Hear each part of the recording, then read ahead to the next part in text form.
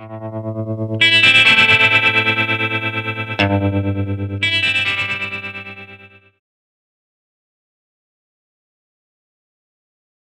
Dzień dobry. E, Pozwolą Państwo, że będę siedzieć.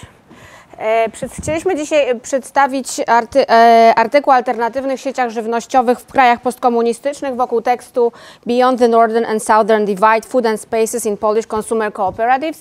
To jest artykuł, e, który został opublikowany w Eastern European e, Po Politics and Societies. Politics and Societies and Culture e, w zeszłym roku, ale a chce, chcemy, wy, e, chce, nie, nie, nie tylko będziemy opowiadać o tym artykule, ale chcemy zrobić krok dalej e, w kierunku moich, e, moich badań, e, na, na, badań, które realizuję obecnie z Wojtkiem Goszczyńskim, a które w przyszłym roku będę miała niewątpliwą przyjemność, mam nadzieję, realizować w Stanach Zjednoczonych. Więc e, to pytanie o, o ten, o, o ten mm, p- pytanie pytanie e, tutaj szczególnie drugie jest dla mnie interesujące, znaczy oba pytania są ważne, ale pytanie drugie szczególnie jest dla mnie ważne. Ono tam będzie odgrywało moi, na moim czasie mojego stypendium e, taki o, oś mojego poby- będzie wyznaczała e, ośmo, oś, e, trochę będzie osią mojego pobytu. Celem naszej prezentacji jest y, ukazanie znaczenia alternatywnych sieci żywnościowych, y, żywności żywnościowych z punktu widzenia wyzwań związanych z przemianami w rolnictwie e- we wzorach konsumpc- konsumpcji. E, Będziemy chciały pokazać, że temat ten y, nie jest już tematem zupełnie niszowym, ale, ale zaczyna odgrywać dosyć istotną rolę, wpływa na różnego rodzaju, na, na różnego ro- rodzaju dyskursy. I drugi temat, tak jak powiedziałam, to próba, początek poszukiwania odpowiedzi na pytanie, czy istnieje specyficzny model tak, takowych, czy alternatywnych sieci żywnościowych dla krajów Europy Środkowo-Wschodniej, e, postkomunistycznych, czy też postsocjalistycznych. Tutaj, miałyśmy dużo wątpli- tutaj mamy dużo wątpliwości w ogóle, jak, na, jak, jak, jak o tym mówić, e, jaki jest, y, jaki i czy w ogóle jest wspólny mianownik dla krajów e, z naszego, z naszego regionu poza, poza przy, przynależno- należnością geograficzną, czy jakie pojęcie najlepiej odnosi, jak najlepiej będzie charakteryzowało ten region, ponieważ e, w naszych analizach będziemy odnosić się do, do doświadczeń e, przeszłości, doświadczeń szczególnie e, okresu komunistycznego, dlatego u, uważamy, że określenie kraje postkomunistyczne, post, w dalszym ciągu jesteśmy krajami postkomunistycznymi, mimo że minęło 30 lat, ale elementy tożsamości, czy kultu, pewne kulturowe elementy i tożsamościowe elementy w dalszym ciągu charakteryzują obywateli, e, obywateli tego regionu. E, w literaturze światowej, z której głównie korzystamy, e, bo niewiele publikuje się do tej pory po polsku, e, używa się pojęcia postsocjalistycznych, dlatego w nawiasie e, krajów postsocjalistycznych. O czym będziemy mówić? Alternatywne sieci żywność, żywnościowe, Alternative Food Network w skrócie, nie ma, nie ma e, skrótu chyba, e, nie ma skrótu polskiego, tak jak mówiłam, bazujemy przede wszystkim na literaturze, odwołujemy się do bogatej, do dosyć już bogatej literatury światowej, e, w, z, z początkami tekstów, e, z, z pierwszymi tekstami polskimi, które nie znalazły jeszcze dobrych, e, do, dobrych, dobrych tłumaczeń. To jest nieustająca e, dyskusja, którą też ki- kilkakrotnie profesor Wilkin podnosił, jak tłumaczyć, jak i czy tłumaczyć pojęcia obecne w takim dyskursie międzynarodowym na język polski. E, No to, to musimy zostawić jakby na, na, na marginesie i nie będziemy próbować tutaj teraz od, odpowiadać na ten, na, na, na ten To znaczy używamy skrótu AFN, który jest, y, pochodzi z określenia anglojęzycznego, natomiast alternatywne sieci żywnościowe wydaje nam się, to pojęcie najle, najlepszym Lepsze. przykładem na razie istniejącym tego pojęcia na, na język polski. Przepraszam, że ci... mm. E, Co, co ciekawe, proszę, to, to jest ważne z punktu widzenia właśnie pytania o, o specyfikę alternatywnych sieci żywności w naszym regionie. Większość nazwisk, które tutaj Państwo widzą, poza ostatnimi, e, to, to są nazwiska e, autorów z Europy, z tak zwanej Europy, e, z- Europy Zachodniej i, i Stanów Zjednoczonych. To oni wyznaczali, wyznaczali ten kształt tego, tego, tego, tego dyskursu. Dopiero od, dopiero od niedawna, od ostatnich 3-4 lat pojawiają się publikacje, o których Ola wspomni, publikacje z, na, z, naszego, z naszego regionu.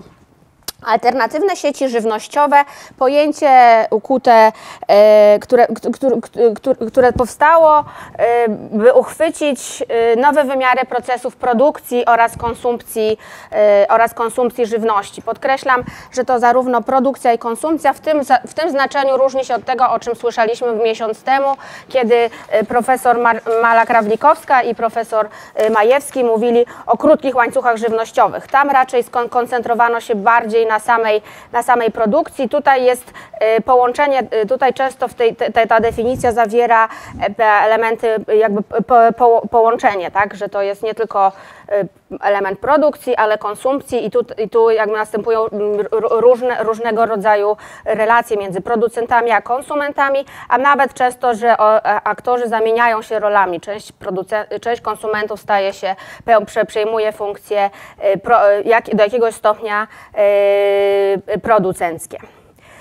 E, Pojęcie to pojawiło się w ogóle w, w ramach, wrazem z kryzysem e, rolnictwa industrialnego, z kryzysem, z pierwszymi, e, z pierwszymi objawami kryzysu środowiskowego, ale też pewnych kryzysów społecznych związanych z tym rolnictwem industrialnym, z taką brako, brakiem zgody na ży- ży- żywność anonimową i która z, z, pochodzącą, pochodzącą z, skądś, nie wiadomo skąd, z globalnego, z globalnego świata i również wynikają, wyni, wiążące się z tym różnego rodzaju e, zagrożenia zdrowotne. E, Pamiętamy, dosyć dawno to było, ale to jakby był jeden ze źródeł choroba, choroba wściekłych krów, kiedy e, to była jedna z, z takich z przyczyn, których kiedy zaczęto poszukiwać innego modelu produkcji e, i konsumpcji żywności. Nie ma jednej definicji, dlatego tutaj nie przytaczamy żadnej definicji. Prawdopodobnie każdy, ka, każdy z nas, e, każdy badacz i tu, i na świecie mógłby stworzyć swoją własną definicję, stąd nie próbujemy tutaj nawet podawać takiej jednej wspólnej definicji. E, Pojęcie to pozwala uchwycić e, wszystkie te inicjatywy znajdujące się poza głównym produktem, e, nurtem produkcji oraz takich, które podkreślają znaczenie relacji e, w procesie produkcji i dystrybucji. Tu bardzo ważny, e, znowu na pierwszy plan jakby wchodzi, e, wchodzi pojawia się, e, pojawia się e, e, człowiek, też jakieś formy dobra, e, różnie rozumiane dobro, dobro publiczne, też kwestie środowiskowe. E, tak jak powiedziałam, nowe inicjatywy stały się, wynikły, wynikały z, z, z, jakiego, z lęku, ale też braku zgody, też takiej ideologicznej na, na, na, tak, na taki, a nie inny, dominujący wtedy przede wszystkim w krajach tak zwanych zachodnich, wielkoprzemysłową e, produkcję e, rolną. E, dyskusja o alternatywnych sieciach żywności wykracza poza samą żywność. To bym chciała bardzo wyraźnie podkreślić. E, to nie tylko to, co jemy i jak jemy i z kim jemy, choć to bardzo ważne kwestie, ale to też e, pytanie o definicję alternatywności, relacje między obywatelskością a społeczeństwem, czyli tak zwany obywatel y, konsument, konsument, y, y, znacznie bardziej świadomy, zadający pytania, e, i, i po, poszukujący. E, To też relacje między obywatelskością a gospodarką. E, Alternatywne sieci żywnościowe Warto o nich, y, y, y, zaraz o tym powiem. E, Dwa kluczowe pojęcia, które w ogóle wyznaczają, i to też Państwo zobaczą, wyznaczają nasze badania, do których się odniesiemy, to pojęcie terytorium, to również pojęcie, e, pojęcie lokalności. To są chyba takie dwa, dwa kluczowe elementy, które znalazłyby się w każdej definicji alternatywnych sieci e, żywnościowych. Ogólnie mówiąc, można powiedzieć, że w, ogól, w alternatywnych sieciach żywnościowych odległość między producentem a, a odbiorcą, postulowana przynajmniej, jest y, mnie, mniejsza. Dzięki temu e, zaczyna, e, dzięki temu znaczenia nabierają uspołecznione, a zarazem nisko sformalizowane mechanizmy kontroli jakości, jakości oferowanych produktów. To wszystko y, w jakiś sposób do tych wszystkich kwestii zostanie, odniesiemy się w, e, w czasie, po- pokaże, będzie widoczne w naszych wynikach badań. Rodzą się tutaj nowe praktyki, konsu, postawy konsumenckie, a także towarzyszą im nowe ideologie, które wiążą jedzenie ze zdrowiem, ekologią, ale też wspólnotowością i dobrem, e, i dobrem e, publicznym. Pierwsze lata, kiedy, kiedy zaczęto mówić, wczesne lata, koniec lat 90., e, alternatywne sieci żywnościowe były, były dosyć głównie by, były opisywane w, na, w kryteriami samych, samych zalet, charakteryzowane jako coś, coś co zmieni, coś, co zmieni świat i wyznacza, mm, wyznaczy, było wartościowane tylko pozytywnie. Po pierwszym, po pierwszym zachwycie, po, po, po, po, kolejnych badaniach, które były realizowane, przede wszystkim wracając właśnie w krajach Europy, Europy Zachodniej i Stanów Zjednoczonych, y, czyli tak zwanej, można powiedzieć, globalnej, może nie globalnej północy, to nie, pojawiły się pewne, y, pewne rysy na tym idealnym obrazie alternatywnych sieci żywnościowych. E, pojawiły się, mm, pojawiły się takie elementy, zaczęto mówić o elementach wykluczenia, e, różnego rodzaju wykluczeń społecznych, etnicznych, ekonomicznych, alternatywne sieci żywnościowe, to przede wszystkim oferta dla osób, y, to, to przede wszystkim angażuje osoby z wysokimi kapitałami społecznymi, ekonomicznymi y, i, i, i kulturowymi i w dalszym ciągu te alternatywne sieci żywnościowe mają problem, choć w jakiś sposób już uświadomiony z przekroczeniem tych, y, tych, tych barier, pojawia, uwidaczniają się w tych różne rodzaje nowych podziałów klasowych i w jaki sposób relacje władzy, tak jak gdzie indziej są, są, są od tak jak w innych strukturach, również są poniekąd odtwarzane i bada, naukowcy po pierwszym, po pierwszym zachwycie w, w latach 2000, nie wiem jak to mówić, po 2010 roku. y, zaczęli, zaczęli, za, y, zaczęli to, zaczęli to y, dostrzegać. Bardzo nie, przygotowując się do, tego, do tej prezentacji, e, e, nie ukrywam, że trochę się niepokoiłyśmy pytaniem, które padło przy, trochę przy prezentacji poprzedaży poprzedników, po co w ogóle się tym zajmować? I że to jest taki, taki nieważna, nieważna kwestia, w końcu to dotyczy bardzo niewielkiej grupy, rol, rolnik, grupy i producentów, i konsumentów i to nieznaczący, nieznaczny margines, y, nic nieznaczący. Y, w naszej opinii e, osób dosyć mocno zaangażowanych, ja też nie ukrywam, że jestem zaangażowana też sam, nie tylko badawczo, ale też y, biorę udział w tworzeniu tych współtworzeniu tych alternatywnych sieci żywności, więc chciałam się jakoś przygotować do tego i wydaje mi się, że po, po, po pogłębionej analizie można wymienić trzy takie elementy, dla których warto o tym mówić i dla których to, się, to jest coraz bardziej kwestia, coraz, która tylko i wyłącznie zyskuje, zyskuje na znaczeniu. To przede wszystkim, tak jak tu widać, elementy środowiskowe, społeczne i ekonomiczne. E, alternatywne sieci żywnościowe rzeczywiście nie wiem, czy jeżeli mierzyć je tylko i wyłącznie w wymiarze ilościowym, są prawdopodobnie pozostaną, pozostaną margi, y, kwestiami marginalnymi, nawet jeśli tak jak część osób chce, z czym ja się nie do końca zgadzam, zaliczając rolnictwo ekologiczne do, do tych alternatywnych sieci żywnościowych, to prawdopodobnie, jeżeli chodzi o skalę masy produkcji, wiele lat na długo zostanie przynajmniej kwestią niszową. Jednak warto o tym mówić, bo, bo wyznaczają one pewne e, trendy w dyskursach, e, pewne trendy w, dy, w dyskursach na bardzo wielu poziomach. Na poziomie politycznym, to dyskurs też właśnie reformowania, zazieleniania, zazieleniania mm, wspólnej polityki rolnej, to kwestie mm, E, I, o, o, i, i, zwraca się uwagę na skracanie tych łańcuchów, na zbliżanie, właśnie to, co postulu, postulują od jakiegoś czasu alternatywne sieci żywnościowe, e, skracania, te, skracania tego dystansu, e, lokalizowania, lokalizowania produkcji, identyfikowania, identyfikowania tej produkcji. To kwestie społeczne, właśnie formy budowania społeczeństwa, obywatel, budowania społeczeństwa obywatelskiego, budowania takich lokalnych społeczności wokół jakiejś, jakiejś, wokół jakiejś ważnej kwestii, jaką niewątpliwie jest żywność to w końcu w kwestie, funkcje ekonomiczne. Nie ma co ukrywać, że dyskurs, ten dyskurs e, alternatywnych sieci żywnościowych moim zdaniem zaczyna już wychodzić poza tak zwaną niszę innowacyjną. Tu nie chcę już wchodzić w, kwestie, w kwestie teoretyczne dotyczące niszy innowacyjnej i mechanizmów tego wychodzenia, e, co było szczególnie ciekawie badane we, we, we Francji. Ta, tam jednak skala tych, tych alternatywnych sieci żywnościowych jest większa. Tam autorka y, la, pani Lamin udowadniała, jak niektóre in, inicjatywy wychodzą właśnie poza, poza tą niszę. U nas, te, u nas nie było jeszcze zrobionych takich systematycznych badań, jednak e, Lidl, Lidl, który jest zupełnie komercyjną instytucją, pok e, firmą, pokazuje, że, że pewne wątki właśnie takie jak, lokali jak lokalizacja, jak podna podznaczenie kwestii lokalnych, regionalnych, nawet jeśli są zupełnie wyjęte z tej całej ideologii, a tylko wzięte te elementy komercyjne, te elementy, yy, yy, znaczy jakby obrane z tej skórki ideologicznej, ale po, poja- zostają skomercjalizowane i całkiem dobrze się sprzedają. Tutaj to najwyższe zdjęcie to właśnie zdjęcie sprzed kilku tygodni zrobione przed Lidlem, gdzie była cały, cały, y, cały tydzień produktów regionalnych, gdzie na każdej, na wielu produktach można było zobaczyć, że to pochodzi z tej lokalizacji, z tego regionu y, i to chodziło o regiony, y, re, regiony polskie. Tak samo powstają sieci bardzo mocno skomercjalizowane, też obrane z tej skorupki ideologicznej.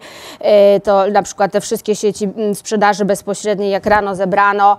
E, Więc widać, że ten i, i dyskurs, który, o któ- których mówimy, któ- które, które alternatywne sieci żywnościowe inicjują, wychodzi z, wychodzi ze, z, tej, z, tej, z, tej, z, tego, z tej niszy, jaką można powiedzieć są alternatywne sieci żywnościowe i zaczyna wpływać na, y, na, mm, na dyskurs, y, na dyskurs na, na, na, na, szersze, na szersze społeczeństwo.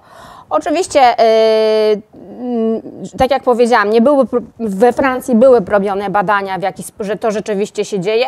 W Polsce to, ja, to na razie jest tylko moja, nasza obserwacja, tu nie było jeszcze robionych rzetelnych badań. To jest cała ideologia, którą mam nadzieję, że kiedyś nam się uda zre, zrealizować takie badania o tym, jak te, jak te nisze, y, jak te nisze wychodzą i jak te elementy z tej niszy wychodzą, tego dyskursu, ale myślę, że, że na, tak jak przykład francuski podaje, można w miarę, w miarę u- metodologicznie uzasadnić, że to, że to, się, że to się dzieje.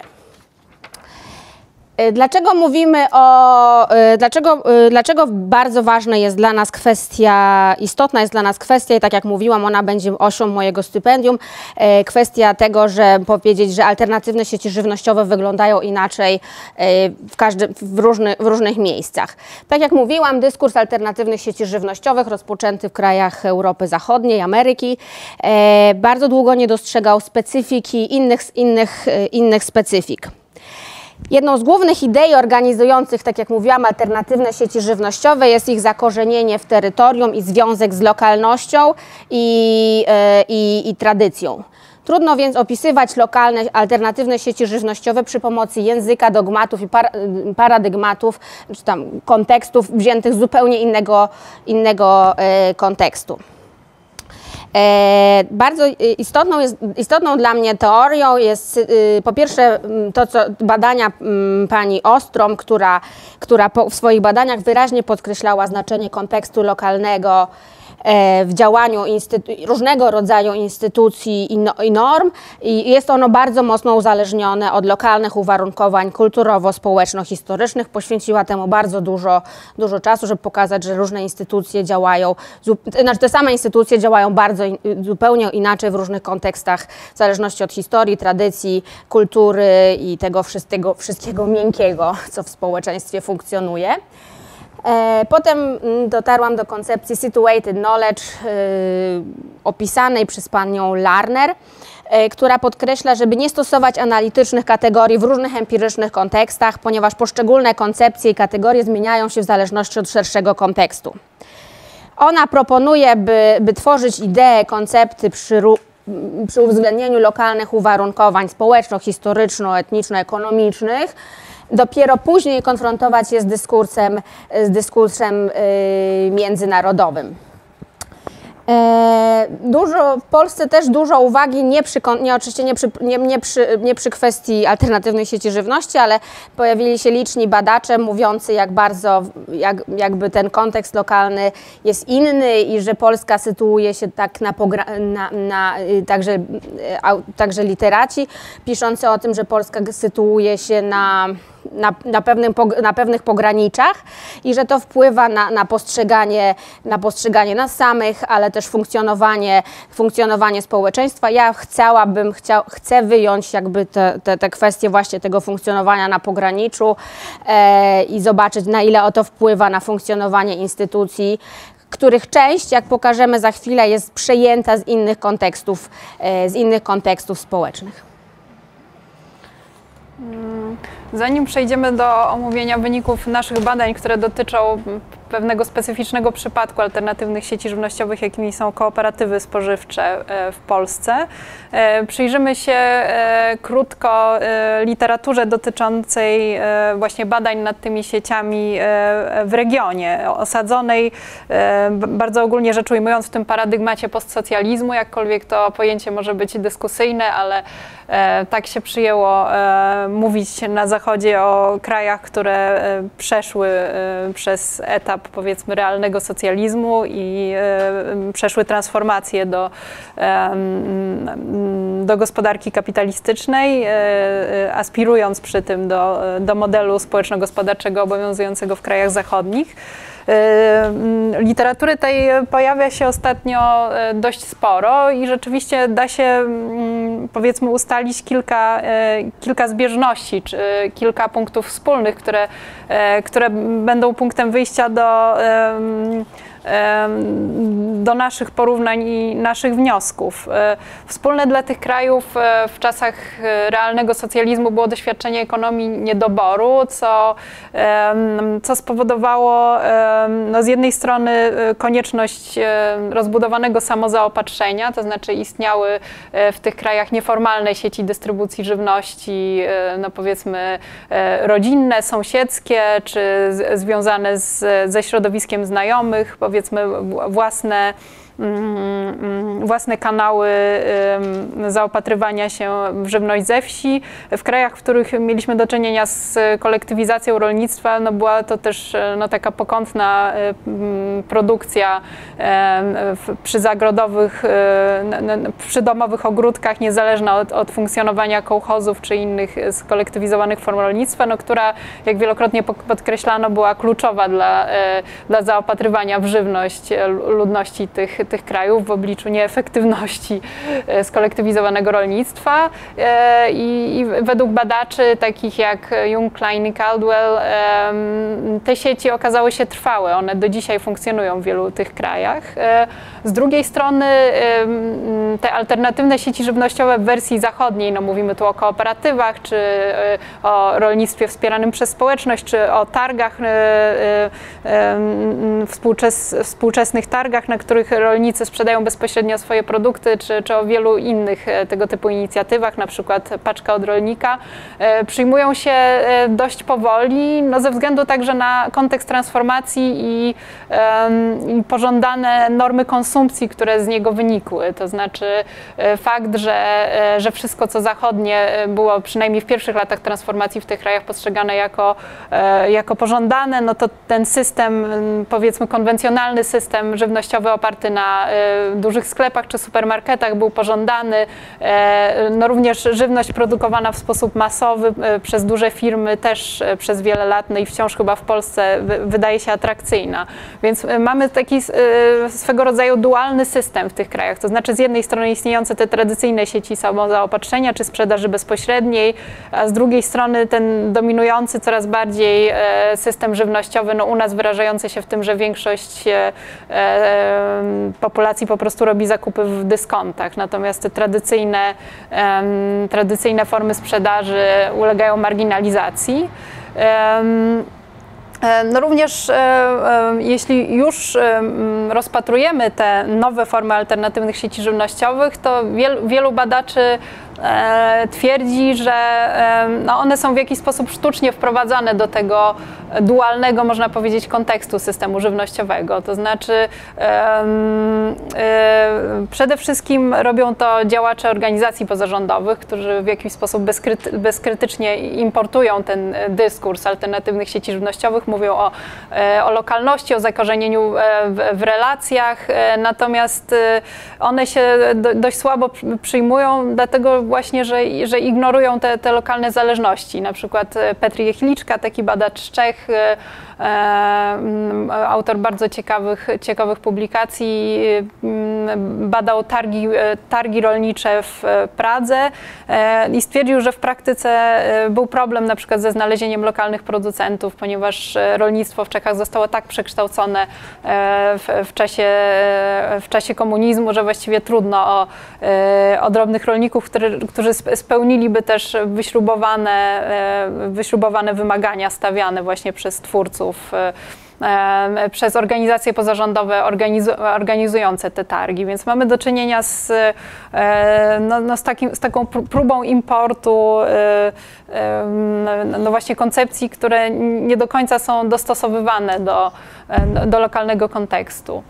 Przechodząc już do zablecza teoretycznego naszych badań, postanowiłyśmy przyjrzeć się temu, jak kategoryzowane są alternatywne sieci żywnościowe na Zachodzie. I okazało się, że kooperatywy spożywcze no, w taki specyficzny sposób w Polsce wpisują się w ten, w ten podział, o czym, o czym zaraz opowiem. Ogólnie rzecz biorąc, mówi się o podziale w odniesieniu do Europy Zachodniej mówi się o podziale e, na sieci północne i południowe, e, przede wszystkim ze względu na definiowanie jakości i stosunek do przestrzeni. E, w krajach takich, no, mo można ogólnie rzecz biorąc powiedzieć, śródziemnomorskich, więc ten północ i południe to jest taki trochę niefortunny, niefortunny termin, to znaczy Francja, Hiszpania, Włochy czy Grecja. Ważna jest przede wszystkim rola terytorium, z którego pochodzi żywność. Używa się francuskiego określenia terroir, to znaczy jest to nie, jest to nie tylko przestrzeń, ale również e, lokalne tradycje i kultura, które bardzo silnie wpływają na, na charakter tej żywności, na, na znaczenia jej przypisywane. Natomiast kraje, no, można powiedzieć, północne, czyli, czyli wychodzi na to, że, że właściwie kraje germańskie, anglosaskie, i, i ewentualnie Skandynawia. Tutaj jest mowa przede wszystkim o Holandii, Wielkiej Brytanii i Niemcy. Budują swoje sieci w takim paradygmacie ekologicznej modernizacji. To znaczy nie, niekoniecznie chodzi o lokalne tradycje e, i lokalny smak, e, ale takie wystandaryzowane cechy tej żywności e, związane z, ze zdrowiem, z czystością jej produkcji, to znaczy z ekologią, z dobrostanem zwierząt zwierząt, e, czy e, z, prawami pracowniczymi. E, tutaj no właśnie certyfikat produkcji ekologicznej byłby ważny, czy certyfikat sprawiedliwego handlu na przykład, ale w każdym razie takie wystandaryzowane, zestandaryzowane cechy tej żywności łatwo mierzalne i łatwo oznaczane powiedzmy certyfikatami. Badaczka włoska Maria Fonte być może lepiej, bardziej precyzyjnie sformułowała podobne wnioski, to znaczy badając e, e, na podstawie 10 studiów przypadku z różnych miejsc Europy, ustaliła ona dwa podejścia do, do lokalnej e, żywności. Jedno to, jedno to byłoby takie podejście, które, które nazwał Reconnecting Perspective, czyli perspektywa łącząca, to znaczy chodzi o odbudowanie więzi między konsumentami a rolnikami e, e, i właśnie o, o postulat lokalnej żywności produkowanej blisko, co, co odbywa się przede wszystkim w północnej Europie, w Stanach Zjednoczonych, gdzie gdzie mamy często kontekst pustyń żywnościowych, dominację właśnie rolnictwa przemysłowego, e, utratę też e, w dużej mierze lokalnej e, kultury produkcji i, i lokalnej kultury żywności, a z drugiej strony perspektywa origin of food, czyli no perspektywa pochodzenia żywności miałaby miejsce w krajach, gdzie modernizacja rolnictwa do tego modelu przemysłowego jest jeszcze wciąż nie, niepełna, gdzie się chroni istniejące tradycje regionalne, i, problemem e, producentów czy problemem wsi jest raczej depopulacja i marginalizacja tych społeczności, no i to byłyby kraje śródziemnomorskie. Według nas Polska znajduje się gdzieś pomiędzy tymi kategoriami, to znaczy e, nie pasuje do, do, ani do tej perspektywy e, reconnecting, tej perspektywy łączącej, ani, ani perspektywy mm, związanej z, z terroir, czyli origin of food. No z jednej strony e, ta modernizacja rolnictwa jest e, wciąż no, dla jednych niestety, dla innych na szczęście niepełna, to znaczy wciąż jednak dominują e, drobne gospodarstwa, ale z drugiej strony lata komunizmu sprawiły, że w dużej mierze utraciliśmy e, lokalną kulturę żywnościową. To znaczy e, w, w czasach PRL-u celowo zacierano, zacierano różnice regionalne. Tradycja regionalnej kuchni już nie jest tak silna, więc właściwie no, teraz się ją w jakiś sposób świadomy odbudowuje. To znaczy pojawiają się produkty regionalne, takie jak na przykład ser koreciński czy oscypek, ale też deprecjacja tego tego, co wiejskie i regionalne zrobiła swoje i w, tej chwili no, e, istnieją takie próby od, odbudowy e, no właśnie, właśnie tego, tych związków z terytorium czy, czy z regionu. No i bardzo, szybko, szybko no, w szokowy sposób postępowała modernizacja też systemu dystrybucji żywności i ta dominacja supermarketów i dyskontów, no przynajmniej na poziomie dystrybucji jest, jest bardzo silna. Y, to ma wpływ na, właśnie na, na to, jak kształtują się te nasze kooperatywy, ale o tym za chwilę opowiem, bo Ruta e, wprowadzi w ogóle do tego, czym są kooperatywy spożywcze. Nasze no. badanie y, koncentrowało, y, nasze wieloetapowe badanie koncentrowało się na, na kooperatywach spożywczych, w szczególnym typie alternatywnych sieci żywnościowych można powiedzieć, że z jednym z, jednym z bardziej, bardziej, radykalnych, bardziej radykalnych form. E, kooperatyzm to swego rodzaju doktryna społeczna, której, która wywodzi się e, z myśli jeszcze XIX-wiecznej, w Polsce przejęta przez myśl, przez między innymi kontynuowana i rozwijana przez, przez koncepcję spółdzielczości, rozwijaną przez Abramowskiego.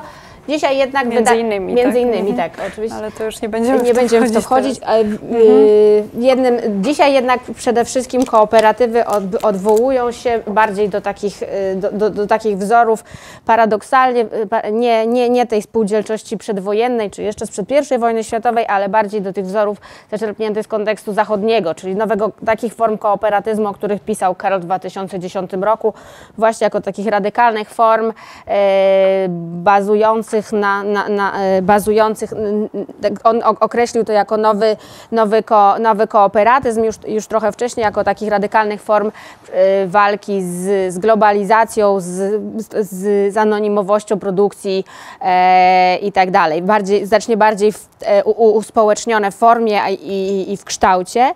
Kooperatywy to, tak jak wydaje, wydaje nam się to dosyć radykalne działanie, bazujące zazwyczaj mm, w Polsce, już tutaj odnoszę się do Polski, są to zazwyczaj nieformalne działania, część kooperatyw próbuje się sformalizować, ale najczęściej są to nieformalne działania, e, co też jakoś wskazuje na brak zaufania do instytucji państwa, e, brak, brak zrozumienia, e, brak możliwości też formalnych tak naprawdę formalizowania się, ale przede wszystkim ograniczone, daleko posunięte ograniczone zaufanie do państwa.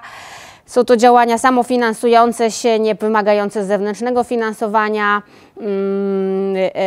oparte na, na, na zaufaniu, zasadach wypracowanych w oparciu o rzeczywiste potrzeby, inicjatywy zwykle, e, zwykle niewielkie.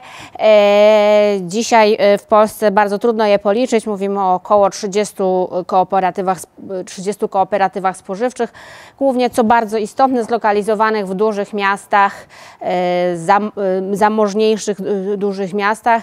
Tak jak właśnie mówiłam już wcześniej, działanie w kooperatywie kooperatywie wymaga, y, wymaga stałego zaangażowania y, i finansowego. Produkty, produkty, kupowane tam są droższe niż te z dyskontów, ale też sporego zaufania społecznego i kulturowego, gotowości, otwartości na uczenie się i poznawanie nowego oraz przede wszystkim, co pokażemy, bazuje na, na, na, za, na, na zaufaniu, y, na, zaufaniu na, na zaufaniu społecznym, a więc przede wszystkim ten ostatni element, e, ten kapitał, którego w naszym społeczeństwie, e, jak wszelkie wszelkie badania wskazują, bardzo brakuje.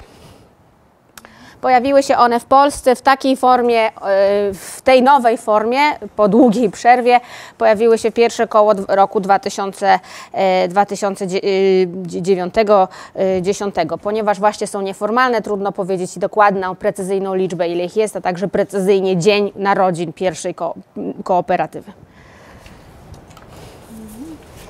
E, krótko o metodologii. Tak naprawdę opowiadamy, no przede wszystkim o wynikach ankiet opowiemy, ale no, badania te były prowadzone pomiędzy rokiem 2012 a 2015 i miały kilka etapów. E, e, składały się z obserwacji uczestniczących. No, każda z nas była lub jest członkinią jednej z, z kooperatyw. Przeprowadzono wywiady swobodne, pogłębione z członkami 13 kooperatyw spożywczych w całej Polsce. To były przede wszystkim badania do mojego doktoratu to były 43 wywiady. E, tutaj głównie Ruta, e, ja w mniejszym stopniu prowadziła też e, ustrukturyzowane badania z rolnikami, dostawcami do kooperatyw i wreszcie e, przeprowadziłyśmy ankietę wśród człon- wysłaną do członków wszystkich kooperatyw. No nie, nie wszystkie odpowiedziały. E, Dostali, dostaliśmy e, 175 zwrotów, no co jest dość sporą liczbą, zważywszy na fakt, że no, tych członków kooperatyw jest e, no, może naj, najwyżej 2000 w całej Polsce, ale to tak licząc bardzo liberalnie, że tak powiem, więc e, e, trudno określić tę mm, e, dokładną liczbę. Nasze zasadnicze e, wyniki, do których się, się odwołujemy tutaj, polegały na tym, że wyróżniłyśmy em, dwa zasadnicze typy kooperatyw spożywczych w Polsce. I no, lu- luźno rzecz ujmując, odpowiadałyby one temu typowi północnemu i południowemu, e, czy typowi Reconnecting Perspective i Origin of Food Perspective, o którym mówiłam e, wcześniej. Znaczy, pierwszy typ to są kooperatywy aktywistyczne. E, One są inicjowane przez członków ruchów społecznych czy działaczy trzeciego sektora. No, można powiedzieć o orientacji takiej lewicowej. E, Silna jest w nich rola ideologii. E, Pierwsze kooperatywy tego typu wysyłały hasło bardziej demokratycznej, ekologicznej i sprawiedliwej gospodarki. E, Także e, też te ideologiczne wyznaczniki jakości żywności są ważne, takie jak właśnie produkcja ekologiczna, czy e, prawa zwierząt, e, czy prawa pracownicze, co zobaczymy zaraz w wynikach e, ankiet. E, Istnieje też tam silny nacisk na płaską, niehierarchiczną strukturę, co sprawia, że często te kooperatywy są takie dość efemeryczne. One mają bardzo luźną strukturę, brak e, formalnych e, liderów. E, No, badania, moje badania wskazywały na to, że no wiele z nich okazywało się mało trwałych w wyniku, w wyniku właśnie takiej, takiej luźnej struktury. Część z nich po prostu już teraz nie istnieje. Natomiast drugi typ kooperatyw, nazwałyśmy je roboczo zorientowane na konsumpcję, są inicjowane w nieco innym środowisku, no można powiedzieć przez, e, w środowisku klasy średniej, e, osób nieco zamożniejszych i tutaj napisałam członkinie, bo są to w przeważającej mierze kobiety. No zresztą w aktywistycznych kooperatywach też dominują kobiety, ale nie, nie aż tak bardzo.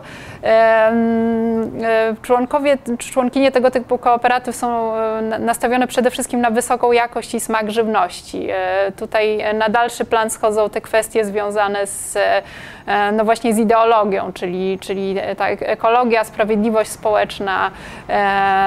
Tutaj w aktywistycznych kooperatywach cena żywności niska początkowo była, była istotna, w, w tych drugich nie. E, Struktura ich jest również nieformalna, one o- o- opierały się przede wszystkim o, grupy internetowe, grupy na Facebooku, ale no można powiedzieć, że struktura jest bardziej hierarchiczna, to znaczy są wyraźne liderki, e, które zarządzają e, tymi kooperatywami. No również mają one większą liczbę członków i szerszą sieć dostawców, to znaczy można powiedzieć, że, że w mniejszym stopniu jest to taki projekt ideologiczny, a w większym stopniu no, potrzeba realnego zaopatrywania się się w żywność. Natomiast e, na, na podstawie wyników ankiet m, pokażemy, że rzeczywiście m, te różnice między nimi istnieją. To co, to, co wyszło w wywiadach początkowo w moim doktoracie, potwierdziłyśmy, m, potwierdziłyśmy w, w- ankiecie. Natomiast istnieją tutaj takie specyficzne cechy, które sprawiają, że ten podział jednak na północne i południowe, znaczy, znaczy hipoteza dotycząca tego, że pierwsza z tych kooperatyw nawiązuje do sieci północnych, a druga do południowych, bo to jest no, tak, taka mm, próba imitacji e, tak, tego, co jest na zachodzie. E, Pierwsze e, imitowałyby bardziej właśnie ten, ten typ północny, natomiast dru, drugie rzeczywiście w wywiadach wyszło, że na przykład inicjatorki tych kooperatyw zorientowanych na konsumpcję inspirowały się ruchem slow food, który narodził się we Włoszech, więc, więc były to, byłyby to bardziej jakby ten typ południowy. No i tutaj porównując na przykład, e, tutaj pytałyśmy o, o, w, w tym pytaniu w ankiecie, jaki jest, e, jakie są najważniejsze cele działania e, kooperatyw. I, I porównując tutaj rozkład procentowy tych, tych odpowiedzi, można, można powiedzieć e, i, i, i patrząc na istotność tych różnic, że, e, e, że rzeczywiście to wychodzi. Na przykład tutaj Tutaj e, mamy punkt dostarczanie konsumentom żywności wysokiej jakości. W, kooperatywach zorientowanych na konsumpcję e, o, o, wiele więcej osób odpowiedziało i ta różnica jest istotna statystycznie, że, e, że to jest ważne. Omijanie pośredników, no, czyli te bliskie relacje z dostawcami. Tutaj kooperatywy zorientowane na konsumpcję odpowiedziały, że, że jest to ważniejsze i zaraz odpowiem, jaka jest nasza interpretacja te, tego wyniku. Tutaj wsparcie dla polskich rolników e, nie było to istotne, ale w kooperatywach zorientowanych na konsumpcję jest nieco wyższy wynik, e, więc tutaj to by wskazywało ewentualnie na, e, na istotność no, tego lokalnego kontekstu kulturowego. Natomiast ochrona środowiska jest o wiele bardziej istotna dla kooperatyw aktywistycznych. Tak samo budowanie bardziej sprawiedliwej gospodarki, no to jest kategoria wzięta z wywiadów i z tego, jak opisywały się te kooperatywy na, na stronach internetowych, jest o wiele bardziej e, mm, istotna dla kooperatyw e, aktywistycznych. No, czyli, czyli tutaj widać, że um, um, że, te, że ta ekologiczna modernizacja byłaby bliższa aktywistom, natomiast no, ten smak i jakość e, bliższa tym kooperatywom zorientowanym na konsumpcję. Przepraszam, tylko powiem, tam się nie sumuje do 100, bo każdy mógł wskazać do dwóch wskazań, dlatego jest ponad, nie sumuje się do 100. Mhm. E, kolejne pytanie, to, to były pytania o kryteria wyboru, wyboru dostawców do kooperatyw. I tutaj e, w szczególności e, mm, wskazałabym na to, że na te punkty, w których e, jest mowa o tym, że dostawca produkuje e, lokalnie, to tutaj ta lokalność jest o wiele ważniejsza dla, e, dla członków kooperatyw aktywistycznych. E, przestrzeganie praw pracowniczych, również kooperatywy aktywistyczne, minimalizacja zużycia pestycydów, również kooperatywy aktywistyczne, niska cena żywności.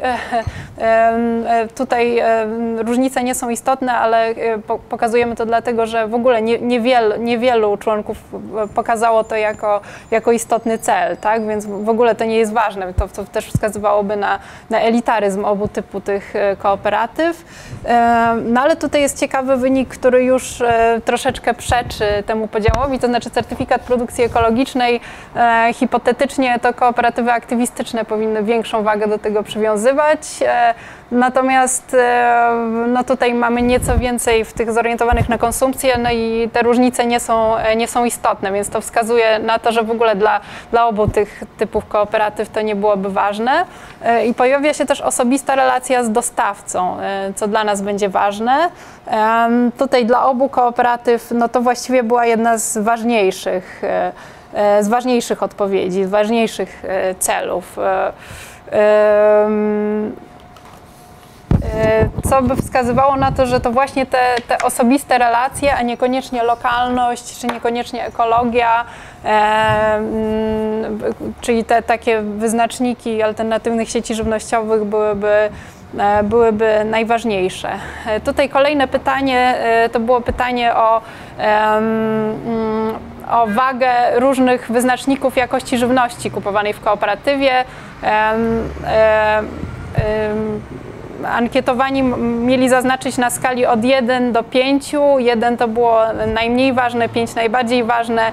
Jak istotne jest dla nich, e, jak istotne są dla nich te poszczególne poszczególne wyznaczniki jakości żywności. I tutaj mamy znowu podział na aktywistyczne i zorientowane na konsumpcję. E, no i tu rzeczywiście się potwierdza, że pro, produkt pochodzi ze sprawiedliwego handlu, ważniejsze jest to dla aktywistów. E, produkt ma certyfikat produkcji ekologicznej, w ogóle e, no, ważniejsze jest to e, nieco dla, dla członków kooperatyw zorientowanych na konsumpcję, ale tutaj nie ma istotnych różnic. Produkt dobrze smakuje, ważniejsze dla konsumentów. Producent e, rolnik jest znany osobiście komuś w kooperatywie, e, ważniejsze dla, e, dla konsumentów, ale dla obu grup bardzo ważne. Zwierzęta nie ucierpiały w trakcie produkcji, ważniejsze dla aktywistów, produkt ma szczególne e, właściwości zdrowotne, ważniejsze dla konsumentów, produkt jest niedostępny w supermarketach, ważniejsze dla konsumentów i produkt jest lokalny, ważniejsze dla aktywistów. E, no, czyli tu znowu no, za, zasadniczo potwierdza się ten, ten podział, e, ale no, na przykład ten certyfikat nie jest bardzo ważny, a, a znowuż ważne są te, te osobiste relacje, na to, na to byśmy szczególnie zwróciły uwagę. I tutaj jeszcze parę, parę wyników z wywiadów, które no, potwierdzają to, że najpierw dotyczące jakości żywności, no, no, że właśnie jakość i smak jest ważniejsza dla tych kooperatystów zorientowanych na konsumpcję. To Tutaj są cytaty e, na początku właśnie z tych kooperatyw, jak kooperatywa Grochowska czy Południowa. E, chciałam kupować dobre rzeczy, a nie żywność na giełdzie bez pośredników. To się odnosi do tego, że te aktywistyczne kooperatywy często kupowały na giełdach warzywnych, czyli taką konwencjonalną żywność początkowo, po prostu bezpośrednio od rolników, żeby kupować bezpośrednio, a niekoniecznie te produkty takiej wysokiej jakości. E, druga osoba opisuje tutaj na przykład jeden produkt, y, jogurt, który jest powiedzmy, ma, ma wybitny smak, ale jest droższy, ale, ale warto kupić taki jogurt y, y, niezależnie od ceny. No z drugiej strony e, jest ta nieufność do certyfikatu ekologicznego. Jedna z osób z tej kooperatywy powiedziała, że certyfikat ekologiczny w Polsce e, nie jest wiele wart. E, z kolei osoba z kooperatywy aktywistycznej, kooperatywy spożywczej w Łodzi krytykowała ten certyfikat ze względu na, na wysoką cenę. Im bardziej wchodzimy w odpowiedzialną konsumpcję, tym, wyrzucamy, tym bardziej wyrzucamy te osoby z innych klas społecznych, czyli tutaj taka samoświadomość elitaryzmu. E, e, I dalej e, wychodzi no, nieufność do tego certyfikatu, która, którą można rozumieć no właśnie jako, jako też częściowo nieufność do, do instytucji i, i jakby wystandaryzowanych wyznaczników jakości. Jedna z osób, tutaj już są z kooperatyw aktywistycznych cytatu, cytaty. Mm, ja osobiście uważam, że nie powinno na nim, na, na certyfikacie w ogóle zależeć, bo to są po prostu dodatkowe pieniądze wyrzucone w błoto i do niczego to nie jest potrzebne. E, po co, jeżeli odbiorca zna go, czyli tego rolnika, wie, że on produkuje w sposób ekologiczny, nie używa chemii, nie używa nawozów sztucznych, nie dodaje jakiejś podejrzanej jakości pasz zwierzętom, to ten, e, temu gospodarzowi to wystarczy, że ci odbiorcy mają tę świadomość. E, tak naprawdę my działamy na zasadzie zaufania. Tak, my znamy dostawców, my do każdego z tych dostawców możemy pojechać i zobaczyć. To jest tak naprawdę na zasadzie zaufania i tego, że my ich znamy i część znamy naprawdę dobrze. E, większość członków kooperatyw, w szczególności aktywistycznych, e, deklarowała, że ważna jest ta żywność lokalna. No ale w praktyce wywiady pokazały, że brakowało w e, kooperatywach no, no, właściwie jednych i drugich, jasnej definicji lokalności, znaczy czym jest ta lokalność. E, e, w kooperatywach aktywistycznych e, no to przede wszystkim wyznacznikiem tej lokalności miałaby być odległość, ale nie ustalono stałej tej odległości. Natomiast w kooperatywach zorientowanych na konsumpcję okazało się, że ta lokalność w ogóle nie jest tak naprawdę istotna, że się kupuje produkty z różnych regionów kraju. E, na przykład, nie wiem, ryby z Mazur, czy z, e, e, z Nadbałtyku, sery korycińskie z Podlasia, czy, czy sery jakieś z gór, że tak naprawdę nie jest ważny ten łącznik z terytorium, co by było wyznacznikiem no właśnie tych sieci południowych, no tylko takie wybieranie z pomiędzy oferty różnych produktów regionalnych, więc nie mamy do czynienia z takim odbudową więzi na poziomie lokalnym, e, tylko e, no właśnie z takim, z takim swobodnym wybieraniem e, produktów, produktów z, z różnych regionów. Natomiast na poziomie deklaratywnym jest to silne. No tutaj jedna osoba z kooperatywy wawelskiej mówi przede wszystkim, przemawia do mnie ekonomia lokalna, budowanie takiej sieci infrastruktury pomiędzy produkcją a klientem na szczeblu lokalnym. Zmieniliśmy podejście do kuchni, staramy się nie kupować egzotycznych owoców. Na zasadzie widzi mi się, że mam ochotę, korzystanie z tego, co jest transportowane przez tysiące kilometrów. Też inny aktywista rozumie to w sposób taki bardzo polityczny, polityczne jest to, że współpracujemy sprawiedliwie z naszymi dostawcami, polityczne jest to, że kupujemy lokalnie, sezonowo, no bo jest, to jest na maksa polityczne. E, więc e, no tutaj na poziomie deklaracji jest, jest to ważne, ale kiedy rozmawiałyśmy w praktyce o tym, jak realizuje się ta polityka lokalności, no to właśnie w tych aktywistycznych nie jest ona jasno zdefiniowana, też istnieje taka pewna trudność ze znalezieniem tych lokalnych dostawców. Też brakuje tym aktywistom wiedzy, jak, jak szukać rolników. Natomiast w drugim typie kooperatyw to w ogóle okazało się, się nieistotne. Mm, więc zasadniczo, y, jeśli już idąc w stronę podsumowania, y, wydaje nam się, że te wyniki pokazują, że rzeczywiście te dwa typy kooperatyw są inspirowane powiedzmy dwoma nurtami w, w zachodnich alternatywnych sieci żywnościowych, ten najogólniej rzecz biorąc tym północnym i południowym. No ale każda z nich e, nie do końca realizuje powiedzmy postulaty, czy, czy wartości, czy, czy idee związane z, tym, e, z tymi typami. I to, co by łączyło te, te dwa typy kooperatyw, e, to byłyby to działanie na zasadzie zaufania i i współpracowania ze znanymi sobie osobami, dostawcami, e, jak również no, nieufność do instytucjonalnych form wyznaczników jakości, znaczy takich jak ekologiczny certyfikat. E, ja bym, mm, nie chcę tego oceniać pozytywnie lub negatywnie. Wydaje mi się, że tak naprawdę nie ma takiej potrzeby, żeby dostosowywać się do jakichś wzorców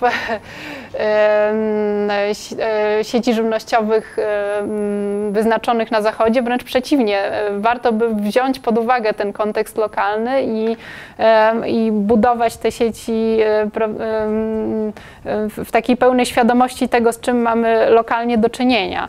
E, I rzeczywiście mamy chyba do czynienia z tym, że e, te więzi lokalne, na, na, więzi między producentami a konsumentami są dość słabe i poszukuje się dostawców przede wszystkim na zasadzie takich sieci społecznych, które być może są podobne do, do tego, z czym mieliśmy do czynienia w czasach PRL-u, to znaczy no, oparte na środowisku czy na znajomościach e, i są to sieci, które przekraczają regiony, to znaczy nie ma tej, na razie nie obserwujemy tej struktury takiej regionalnej tych sieci, nad czym ja bym pewnie trochę ubolewała, no bo chodziłoby o to, żeby no, w jakiś sposób e, odbudować te bliskie relacje z dostawcami, no ale to jest taki postulat e, dość abstrakcyjny. Natomiast budują się takie ogólnopolskie sieci producentów i konsumentów, bo zaobserwowałyśmy też, że dostawcy, ci sami dostawcy współpracują z wieloma kooperatywami, i to zarówno aktywistycznymi, jak i zorientowanymi na konsumpcję. I to są, to są dostawcy z różnych miejsc w kraju.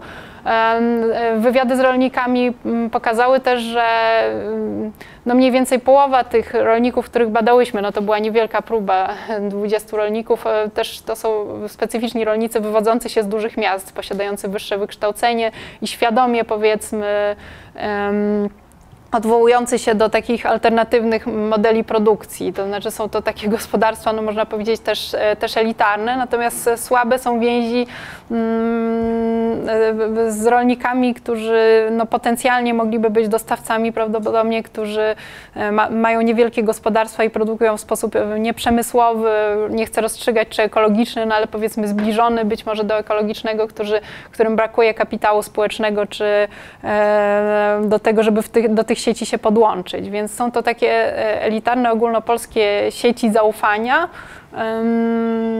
no, które jednak nie realizują tych postulatów gospodarki zlokalizowanej e, uwzględniający lokalny kontekst kulturowy, czy, czy chociażby w tej wersji północnej, powiedzmy, zmniejszający, zmniejszający dystans między producentem a, a konsumentem. Mm. E, to już e, idziemy do podsumowania, tak? E, chcesz coś jeszcze, jeszcze dodać? Mm. Możesz mówić. Tak? Także no, ta, ta inicjatywy, które można określić jako alternatywne sieci żywnościowe, no, są wciąż dość e, słabe w naszym kontekście. To nie znaczy, że nie ma, mm, nie ma potencjału ich rozwoju. Mm, no ale wydaje nam się, że bez lepszego dopasowania się do lokalnego kontekstu, do właśnie do takiego swoistego mieszane, mieszanego systemu e, e, żywnościowego, w którym e, ta formalna e, ściśle skoncentrowana dystrybucja e, żywności opanowana przez dyskonty mm, współ, współtowarzyszy tej mniej formalnej, związanej z, e, z bazarami czy, czy z sieciami samozaopatrzenia. No, no powin, powinna być e, wzięta pod uwagę przez, przez twórców tego typu inicjatyw. No i to byłby taki głos przeciwko pewnie be- bezrefleksyjnym próbom imitowania imitowania tych, e, tych dyskursów e, zachodnich. Ale jak to miałoby wyglądać, no to już pewnie nie nasza rola, żeby, żeby to definiować. Równocześnie przygotowując się do realizacji obecnego grantu próbowałam, znaczy udało mi się znaleźć e, kilka e, alternatywnych sieci żywnościowych różnego typu. Braku, brakuje takich tradycyjnych, zanikły prak, praktycznie te tradycyjne alternatywne sieci żywnościowe. Bardzo trudno jest znaleźć targ w Polsce, w którym rzeczywiście lokalni rolnicy przywożą swoją lokalną żywność. Często jest to żywność od pośredników, od hurtowników. Tak samo e, bardzo ciekawy jest nurt badań czech, czeskich i słowackich, między innymi robione wspomnianego Petera Jechliczkę, jak dużą produkcję żywności zachodzi na, na działkach tych rody, tak zwanych tych ro, rodach. E, W Polsce też, jak się okazuje, e, znaczy, no, jesteśmy, je- jesteśmy przy dniu startu tego badania, ale nawet na działkach przestaje się produkować żywność, więc można powiedzieć, było, bardzo, było mi niezwykle trudno znaleźć sześć zróżnicowanych typów alternatywnych sieci żywnościowych i większość z nich jest próbą, to co, do czego dotarłyśmy, ta, dotarliśmy teraz jeszcze przed rozpoczęciem badania, które wydaje się, że jest próbą naśladowania e, wzorców z innego kontekstu kulturowego, a te z obecnego zanikają albo chwilowo zanikają, miejmy nadzieję. Dziękuję.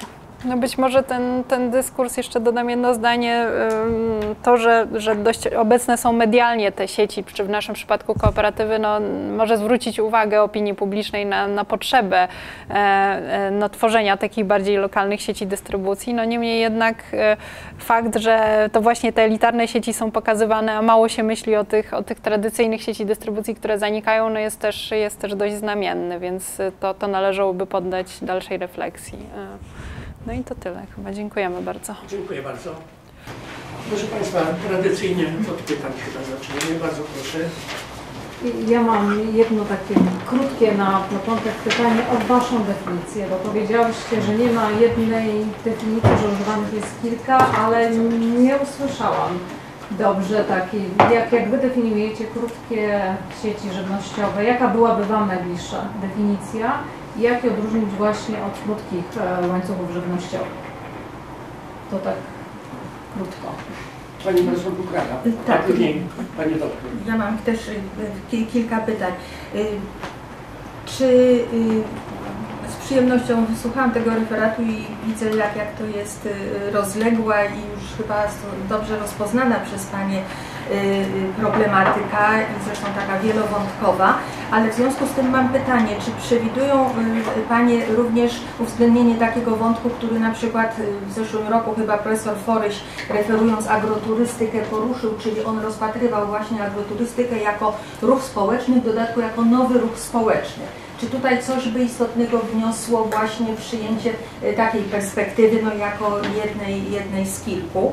Mm, Drugie pytanie to y, może nie tyle pod adresem Pani, ile pod adresem osób, które bliżej są zorientowane w y, kryteriach i w przepisach unijnych dotyczących definicji produktu lokalnego. Kiedyś oglądałam program o właśnie y, produktach lokalnych czy regionalnych i okazało się, że to mogą być produkty wytwarzane na miejscu z, według tradycyjnych receptur i z surowców produkowanych też na miejscu, ale mogą być również produkty mm, skądinąd, a wytwarzanie ich y, y, zupełnie w innym miejscu, więc jak gdyby jest to, y, chyba one, te przepisy nie są dosyć jasne i stwarzają okazję do, do takiego sporego zamętu. No a potem, to na razie te dwa pytania, bo potem kwestie ogólniejsze poruszę. Pani doktor. Ja mam pytanie dotyczące kontekstu prawnego. Czy w tych badaniach, a zwłaszcza jeśli była mowa o przebadaniu 20 rolników, były pytania dotyczące barier natury legislacyjnej, barier w dopuszczeniu produktu przetworzonego na rynek? dlatego że y, nie oszukujmy się, ale to może być kluczowa, y, kluczowy powód, dlaczego nie można sformalizować obrotu. Tutaj był przykład chociażby jogurtu, jak to zostało jakby dopuszczone do obrotu. Bardzo proszę Pani Profesor.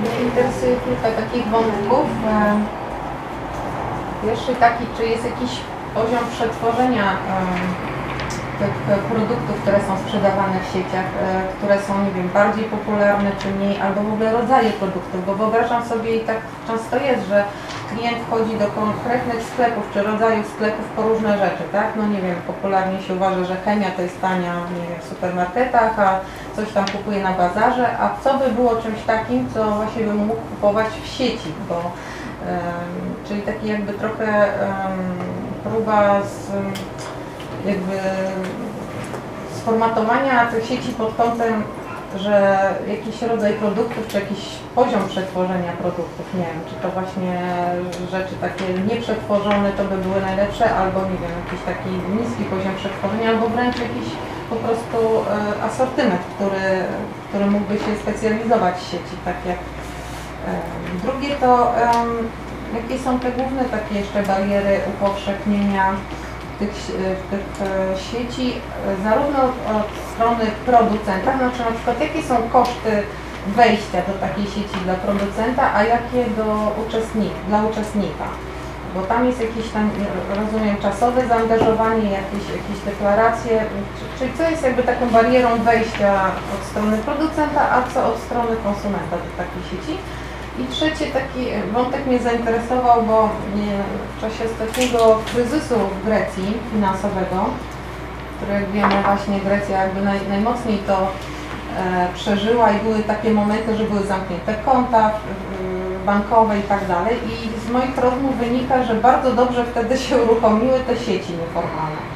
Znaczy właśnie jak nic nie działało, to się okazuje, że działało to właśnie, że można było wszystko kupić, a nawet wymienić się barterowo, bo nie było w pewnym momencie dopływu gotówki, a oni wręcz barterowo się wymieniali między tymi sieciami. Co w ogóle bardzo mnie zdziwiło, że w XXI wieku jeszcze barter działa, ale właśnie to było możliwe tylko i wyłącznie w takich niekonwencjonalnych e, sieciach, bo oczywiście te normalne supermarketowe transakcje i tak dalej, one wręcz w którymś momencie przestały funkcjonować na rzecz tych takich mniejszych. Czy w ogóle właśnie rola tych sieci w czasach, nie wiem, kryzysu, czy jako bufor bezpieczeństwa, czy jako no coś, o czym się tak na co dzień nie myśli, a, a mogą pełnić taką nieoczywistą funkcję w jakichś e, elementach. Czy jeszcze?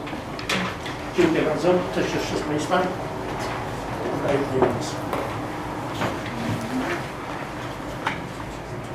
Chcesz zacząć? E, Jaka byłaby e, nasza definicja alternatywnej sieci żywnościowej? E, No, myślę, że byłaby to definicja dość szeroka, znaczy mówiąca o tym, że jest to e, no powiedzmy oddolna inicjatywa e, mieszcząca się poza konwencjonalną e, siecią dystrybucji żywności, e, no, która odnosiłaby się do, e, do postulatu e, mm, tworzenia bardziej lokalnych e, lokalnych więzów między producentami a konsumentami, no tak ba, ba, bardziej, bardzo ogólnie, no chociaż w praktyce pokazałyśmy, że, że ta lokalność jest, jest problematyczna, tak? ale taki byłby powiedzmy ten normatywny wzór e, alternatywnej sieci żywnościowej. W- no w praktyce pewnie taka, taka, to, to byłaby taka definicja projektująca, tak? natomiast ta sprawozdawcza byłaby bardziej, e, bardziej skomplikowana e, i nie wiem, czy, czy jesteśmy w stanie się pokusić w tej chwili o nią, tak? Jak, e, Ja bym jeszcze dodała elementy defini- definiowania jakości żywności bazujące na re- relacyjności oraz elementy y, zaufania jako takie ele- ważne elementy definiujące, y, charakteryzujące te sieci. No ale to jest bardziej taki, taka de definicja, wszystkie są takie normatywne, natomiast to po coraz więcej badań pokazuje, jak bardzo te poszczególne elementy są problematyczne, no, że też, też również na zachodzie, no, czy to nie jest tak, że, że tam wszystko działa, natomiast u nas, u nas jakby nie, no ale, ale też, też pokazuje, em, dużo jest badań właśnie podkreślających elitarność, E, i, i że to, to zaufanie jest bardziej takim konstruktem niż, e, niż rzeczywistością w tych, w tych sieciach. No. Mm. Dru- tak? Jeżeli chodzi o, o ruch społeczny, bardzo poważnie cały czas o tym myślę. Trochę mnie, mm, trochę mnie ta mnogość dyf- metodologiczna kwestie nie, są wyzwaniem, ale tak, cały czas myślę, że y, znaczy stąd pojawiła się w ogóle ta koncepcja, uciekając trochę od pojęcia ruchu społecznego, który tak trochę jest trudnym, moim zdaniem grząskim gruntem, e, szuka, myśl, myślę o wykorzystaniu tej koncepcji niszy innowacyjnej, a więc czegoś, że tak tworzy się pewna innowacja, pe- pewna nowość i w pewien sposób wychodzi i zmie- próbuje je- pewne elementy zmieniać rzeczywistość. To, o czym wspomniałam, wydaje mi się, że może to mogłoby być tak, zastąpić to pojęcie ruchu społecznego. Yy, tak, nie ukrywam, że to trochę z obawy, że to jest tak miękki grząski ten grunt yy, now, ruchów społecznych i nowych ruchów społecznych. Yy, z jednej strony świetnie zbadana, z drugiej strony właśnie taki grząski. To znaczy, no, ja akurat w swojej pracy doktorskiej odwoływałam się do, do tej literatury y, opisującej nowe ruchy społeczne i rzeczywiście y, te kooperatywy, znaczy wiele cech tych kooperatyw by odpowiadało temu, jak się je definiuje, to znaczy właśnie ta nieformalność, e, brak, e, brak formalnego przywództwa, oddolność, rozproszenie, takie również skupienie się na codzienności, cielesności, e, takich sprawach związanych em, no, no nie tyle z, z roszczeniami wobec państwa, tak jak, tak jak się, się mówiło o, ty, o tych dawnych ruchach społecznych, że one przede wszystkim były ruchami protestu, były dobrze zorganizowane, z, z wyraźnym przywództwem, z wyraźnymi postulatami, to tutaj mamy do czynienia z takim rozproszonym ruchem, e, który poszukuje autonomii i, i skupia się właśnie na no, na takiej, takiej bardzo, mm, no powiedzmy, lokalnej perspektywie, tak? Więc, y, więc pewnie jest to odbicie jakiegoś trendu, który, z którym mamy do czynienia na całym świecie. E, No, pytanie, jak, jak bardzo takie działanie może być skuteczne, no to, to, to przyszłość, przyszłość pokaże, no ale myślę, że, że, że ten ruch y, no, no, nie ma jeszcze w Polsce dużej skali, ale no ja bym zaryzykowała, że, że, że można by nazwać kooperatywy ruchem społecznym. Znaczy, pytanie trochę, czy mówimy o alternatywach, czy w ogóle alternatywnych sieciach żywnościowych. W moich tych badaniach, które rozpoczynam, tych typów jest bardzo wiele. Kooperatywy są tylko jednym z typów. Odpowiadając na pytanie trochę Kaś, obu Kaś, część tych alternatywnych sieci żywnościowych, które ja uznałam, że są alternatywne, głównie właśnie bazując na definicji powiązania z lokalnością i bycia trochę na poboczu tego mainstreamu, muszą być legalne. Jedną z tych sieci, to, którą będziemy badać y, z Dominiką, jest y, mm, przy wsparciu Dominiki, y, są stowarzyszenia winiarzy. To są rzeczy, których nie da się sprzedawać, mm, znaczy wszystko się da, ale raczej nie funkcjonują one bez, bez, bez legalności, więc większość tego, o czym mówimy, to odnosi się przede wszystkim do kwestii, do, do kwestii ko, kooperatyw, ale część rzeczy, część sieci y, jest bardzo wyspecjalizowana, to odpowiadając tak, to są na przykład właśnie y, y, winiarze, którzy produkują tylko, y, tylko wina, więc tak. No, natomiast jeśli chodzi o same kooperatywy, to rzeczywiście było pytanie o, o bariery legislacyjne. E, No to one, one właściwie no, omijają te bariery, to znaczy po prostu tutaj e, no, no, żadnych kontroli nie ma, nikt tego nie sprawdza. Są też sprzedawane produkty przetworzone, także nie tylko od rolników, ale część członków kooperatyw na przykład, nie wiem, robi pierogi albo piecze chleb i to sprzedaje w kooperatywach, także no jest to taka, taka próba ominięcia tych, e, tych regulacji. E, No, Natomiast ona się dzieje oczywiście na, na bardzo niewielką skalę i tutaj odpowiadając też na pytanie o, o, to, tę barierę wejścia, no to wydaje mi się, że ona jest y, z obu stron, tak? To znaczy zarówno ze strony e, konsumentów, e, tutaj nie pokazałyśmy takich metryczkowych statystyk, ale rzeczywiście to są osoby z wyższym wykształceniem, no przede wszystkim z dużych miast, em, no, powiedzmy należące do szeroko rozumianej klasy średniej czy, czy też inteligencji, ale również od strony producentów. To znaczy po prostu trzeba wiedzieć, że takie coś jak kooperatywa funkcjonuje, a żeby to wiedzieć, to najczęściej trzeba być po prostu z miasta, tak? I, i, i jakby świadomie wy, wybrać życie na wsi yy, i powiedzmy ewentualnie wrócić do, do rodzinnego gospodarstwa lub też yy, założyć nowe gospodarstwo i yy, żeby się do tych sieci podłączyć, tak? Yy, No tak, tak bym to ujęła. No może to jest zbyt radykalne, nie wiem jak, jak uważasz, ale... No, no tak, ale równolegle, taki- taki równocześnie obraz- wymaga obraz wysokiego poziomu zaufania społecznego od, od obu stron, tak? Często ta żywność rzeczywiście, ponieważ jest w pewien sposób nielegalna, trzeba ufać, że jest wyprodukowana z poszanowaniem w sposób higieniczny, z poszanowaniem praw pracowniczych i tak dalej. To jest jakaś wa- ważna wartość. E, a z drugiej strony rolnicy też muszą mieć zaufanie, że na przykład odroczona płatność do nich spłynie, tak? E, Często są to płatności da, daleko e, przesunięte, e, przesunięte w czasie. To też są oczywiście właściciele drobnych gospodarstw rolnych, których akurat w Polsce, e, w Polsce nie brakuje. To też jest pewna e, tak, bariera. Trudno sobie wyobrazić, że właściciel 100 czy 300 hektarów e, chciał sprzedawać e, mąkę w, ko, e, w kooperatywie. To, to, to może być pewnego rodzaju bariera e, wejścia, tak? że, że typ, typ, e, typ gospodarstw, typ, e, typ produkcji rolnej. No z moich wywiadów też wynikało, że barierą był często transport. To znaczy, że te zamówienia były tak małe z tych kooperatyw, przynajmniej na początku ich rozwoju, że rolnikom nie, nie opłacało się dowozić ich, e, ich konsumentom do miasta, więc, e, więc w praktyce część kooperatyw była skazana po prostu na kupowanie na giełdzie, ale to na początku. No teraz to już się, się trochę pozmieniało.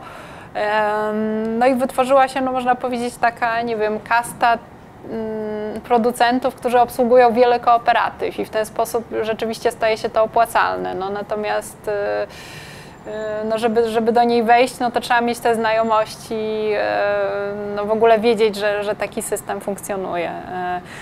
Odpowiadając na, na tę uwagę o kryzysie, rzeczywiście jest bardzo wiele badań dotyczących właśnie Grecji czy Włoch, że, że mamy do czynienia z boomem tego typu inicjatyw.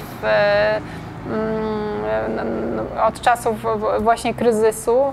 E, No ja bym się pokusiła nawet o takie dość, dość mm, daleką analogię, można by się odnosić, odnieść nawet do pojęcia liminalności Wiktora Turnera, że w jakiś sposób e, to, jak funkcjonują te kooperatywy, mi się mm, można by opisać jako taką tymczasową nieformalność, e, która prawdopodobnie musi, musi później zostać sformalizowana i zinstytucjonalizowana, że, że, jakby byłaby to forma na czasy przejściowe. Ja, ja bym to tak widziała, tak? że em, właśnie pozbawiona liderów, e, taki ruch, który, który musi się jakoś skonfigurować. No i rzeczywiście em, część tych inicjatyw em, się formalizuje. No, na przykład kooperatywa Dobrze funkcjonuje jako stowarzyszenie i, i, za, i założyła e, sklep, czy, czy dwa sklepy już, e, już w Warszawie.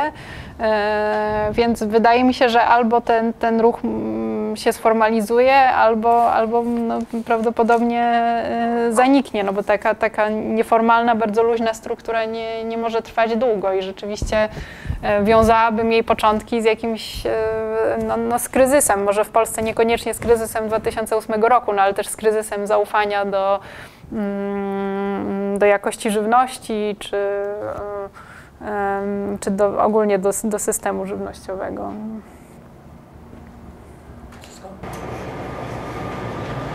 Dziękuję bardzo. Szkoda, że z nami nie ma Doroty Klepackiej.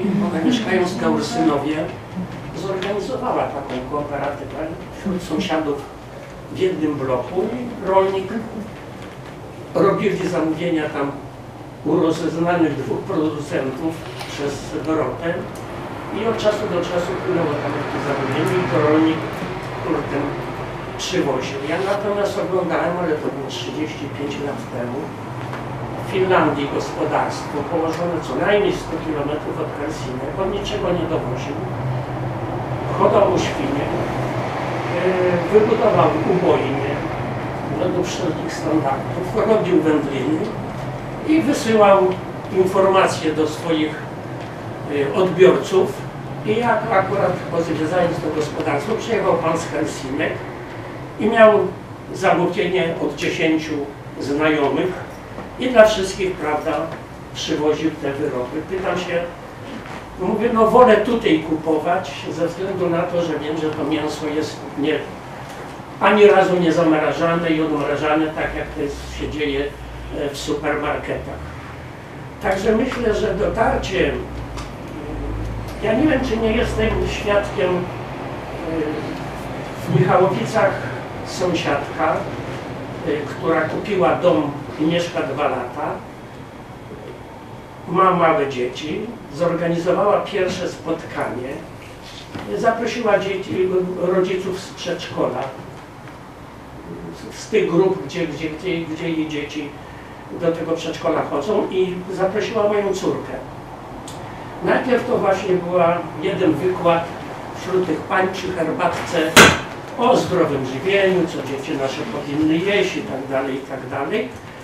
Ale widzę, że to zmierza w takim kierunku, żeby właśnie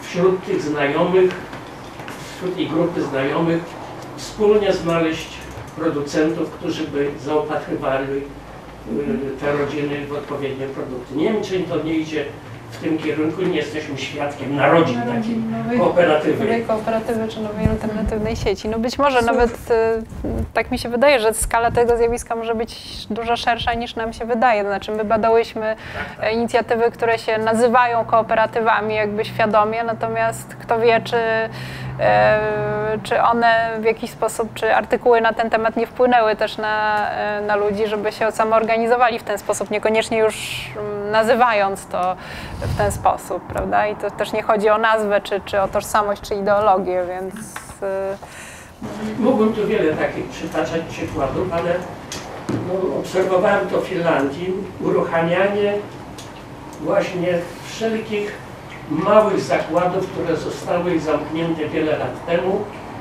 To się nie opłacało, powstały giganty, spółdzielnie ogromne, produkujące masę towarów i jest ogromny ruch już to miało miejsce 25-30 lat temu, że te wszystkie małe mleczarnie na przykład ubojnie wznowiły produkcję właśnie poprzez produkcję niszowych towarów. Ale to są tylko takie ciekawostki. Proszę Państwa, pierwsza Tak, Iwonusza. Jasienka. Jeszcze takie pytanie nawiązujące do pytania Pani Profesor Miwczarek, bo tak do końca nie usłyszałam e, e, różnicy między krótkim łańcuchem dostaw a siecią. E, czy ja dobrze to rozumiem, bo tak na, na swój użytek to tak to rozumiem, że w przypadku sieci jakby stowarzyszone są, są i producenci i, i konsumenci, natomiast w przypadku e, tych e, łańcuchów dostaw jakby zawsze się mówi tylko o producentach. Czy, czy to jest jakoś tak? E, bo, bo właśnie nie było tego porównania. To znaczy no, było w pytanie, to alternatywnych tak? sieciach żywnościowych ważny jest ten obywatelski charakter. Rzeczywiście, że one mogą być inicjowane albo przez producentów, albo przez konsumentów. To może być z dwóch stron. No tutaj mamy do czynienia z e, inicjatywami konsumenckimi. E, natomiast e, krótki łańcuch dostaw, no on może równie dobrze obowiązywać w sektorze komercyjnym, prawda? No to można go uruchomić tak, że Em, to, to nie muszą być inicjatywy obywatelskie, tak? tylko, tylko można w ten sposób opisać po prostu, po prostu jakiś łańcuch żywnościowy funkcjonujący na danym terenie, więc wydaje mi się, że, że mm, tak to można To- rozumieć. To jest, y, no ale tak, to, znaczy to co Ola powiedziała, ale to tak te, też, też y, tak jest, jak mówisz, że tu bardzo ważna jest rola konsumentów i producentów i często oni są prosumentami też, tak? Może nie często, ale zdarza się, że są prosumentami też.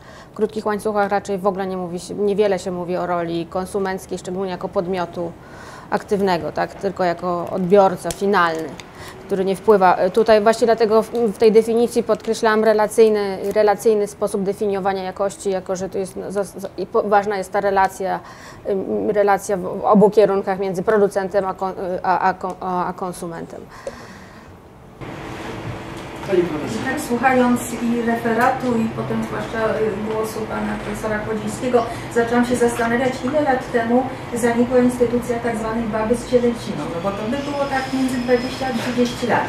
I ciekawe, ona też miała sieć swoich konsumentów, bo odniosła za nią do, do tego mieszkania, tam inne rzeczy tu, zamówienia przyjmowała, ale też sama reprezentowała szerszą sieć, bo jesienią jej mąż rozwoził ziemniaki i cebulę, a któraś tam z sąsiadek można było się podłączyć pod sieć na Białową. No więc to były właśnie te nieformalne y, takie zjawiska, o których y, y, pani profesor wspomniała. Natomiast, aha, jeszcze mi się przypomniało, czy pasowałoby tutaj do tych zjawisk, o których Panie mówiły, takie określenie, którego przed laty używał nasz kolega profesor Kunek, rolnictwo butikowe, prawda? On, on mówił czasami o czymś takim, teraz mi się to przypomniało. Natomiast takie dwie ogólne uwagi w odniesieniu do tego, co padło na samym początku Pani referatu.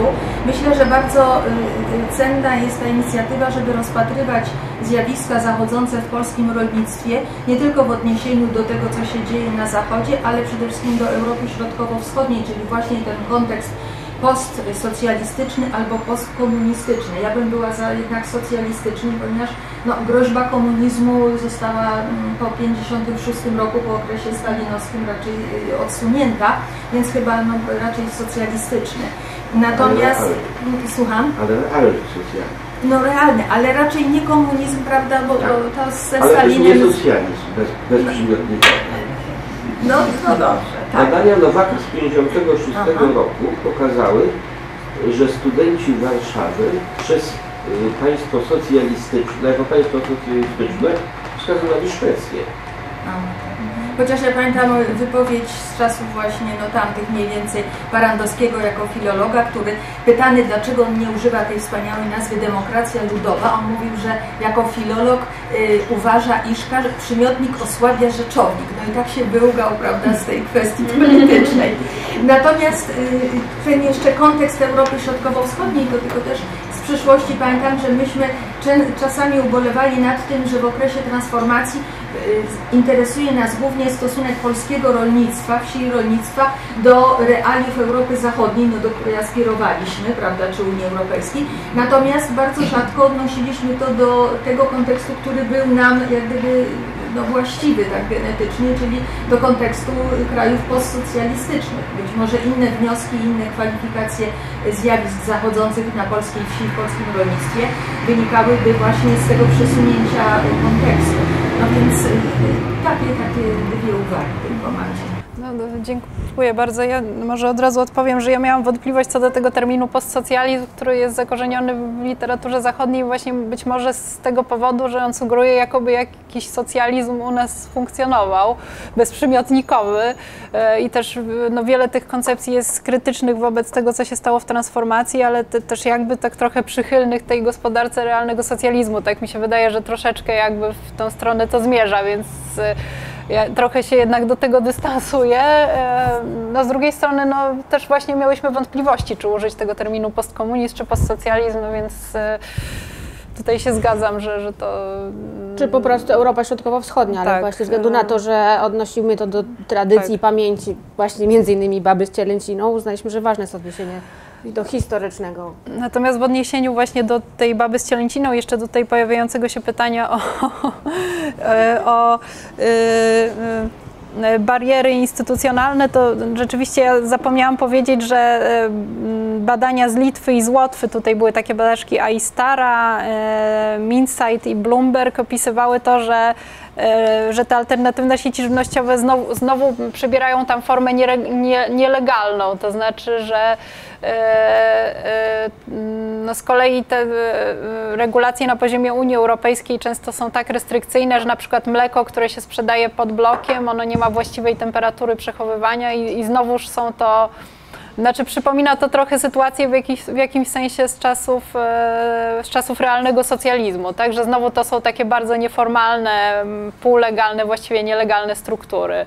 No w Polsce aż tak w tych naszych badaniach chyba tak silnego nacisku na to nie, nie, respondenci nie kładli na to, że muszą omijać jakieś regulacje, ale tam, tam to było bardzo wyraźnie e, pokazane. Nie wiem, czy bo ty bardziej badałaś rolników, czy oni bardzo, znaczy oczywiście ten kontekst e, bez, sprzedaży bezpośredniej się pojawia jakoś. e, No, badania były E, realizowane zanim weszła ustawa o tej sprzedaży bezpośredniej. E, Myślę, że teraz Mhm. jest łatwiej producentom, ale wiele z nich do tej pory, rozmawiając z nimi, unika, bardzo się niepokoi, jeżeli są podejmowane jakieś próby formalizacji kooperatyw, właśnie w związku z tym, że nie będą w stanie spełnić pewnych, e, pewnych norm, więc tak jak też wspominałyśmy, na przykład jest niskie zaufanie do certyfikatów ekologicznych, czyli jak po- poniekąd do, do zaufania do instytucji państwa.